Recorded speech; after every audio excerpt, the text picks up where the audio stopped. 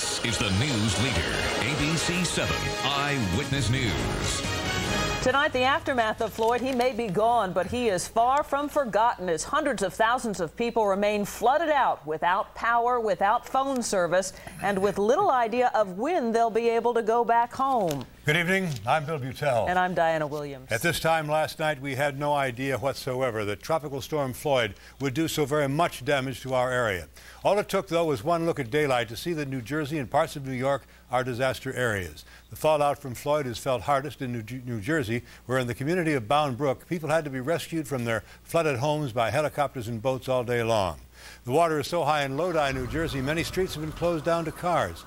And in Rockland County, overflowing creeks have taken their toll on that area, in one case almost pulling a home off its foundation.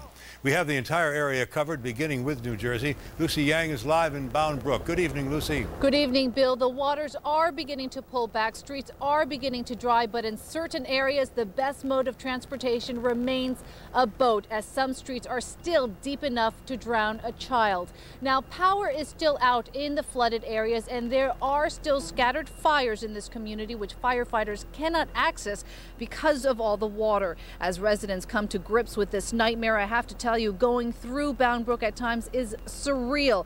Earlier this evening, I saw a fish swimming down a residential street.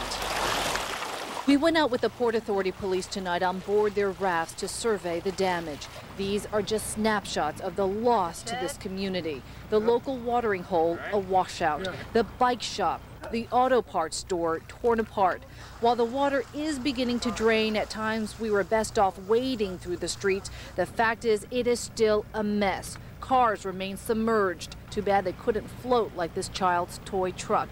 Front yards converted to moats fences as frail as a house of cards, homes themselves not much more stable, the soccer field now fit for water polo as massive flooding ravaged this borough.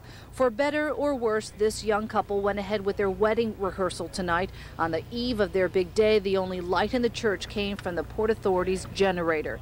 At shelters, there was nothing to celebrate as families lost all their worldly possessions. We got over 10 feet of water when I left my house. They wouldn't let, I couldn't take my cat. My kids are devastated. With parts of New Jersey declared a federal disaster area, Governor Whitman tried to lend a consoling hand to the now homeless, but there are no words of comfort at a time like this. And stand ready and able to assist people, the Department of Health and Senior Services, with insurance questions, with uh, temporary housing which I'm afraid for some people is going to be longer rather than shorter term temporary housing. It has been one dramatic rescue after another. At least 800 victims have been saved from the rising waters. One fellow hanging onto a drum for dear life, others flagging down help from their rooftops. They used choppers, they used boats. A kayak became this best friend's best way out.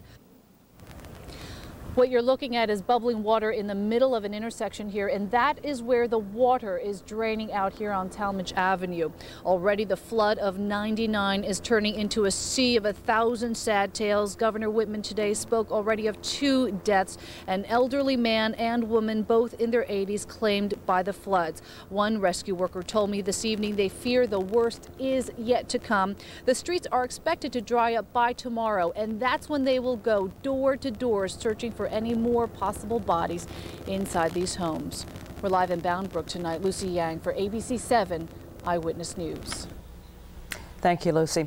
Other parts of New Jersey were not spared the fallout from Floyd. The problem everywhere does seem to be the flooding, as you saw from Lucy. In Lodi, elderly people stranded in their homes by floodwaters were actually evacuated by boat, many of them wearing life preservers. And in Piscataway, one man whose car was stranded in high waters actually climbed in on the roof to get inside of his car. Others had to bail out the water in their cars with cups. In New York, the governor is asking for federal help. Between 12 and 16 inches of rain fell on some parts of the lower Hudson Valley. Tomorrow, Governor Pataki will tour storm damaged areas, but today he declared a state of emergency for severely damaged areas, and he has asked President Clinton to declare parts of the state disaster areas. What we are doing now is we have more than a thousand National Guard troops working with local and other officials, and we're confident we're going to get through this. Rockland County was one area that was hard hit by Floyd's fury. The storm downed trees, flooded streets, and caused power outages that continue even tonight. NJ Burkett has more on that part of the story. The people of Piermont, New York woke up and found their entire village caked in mud. When I first saw it when I came home, I thought, oh my God, it looks like a California earthquake. I couldn't believe it. The force of the storm sent one family's backyard sliding downhill into the backyard of their neighbors. All of a sudden I heard this popping and cracking from on the mountain, and I seen the trees starting to wobble. And next thing I know, it just turned into mud and came down. The huge mudslide tumbled into the center of town, where public works crews shoveled out the streets and neighbors shoveled out their driveways. In my 42 years, I've never seen anything like this. Damages, I would estimate, probably in the millions for the village of Piermont. Uh, it's going to take us quite some time to, uh, to extract ourselves out of this. The storm's raw power was frightening. Floodwaters blew apart this dam in Spring Valley, and this morning, two miles downstream, police recovered the body of a 53-year-old man who had been walking home after his car stalled. This morning, Governor Pataki appealed for federal disaster aid. The storm uprooted 300-year-old trees. This church was nearly destroyed. Huge power lines went down,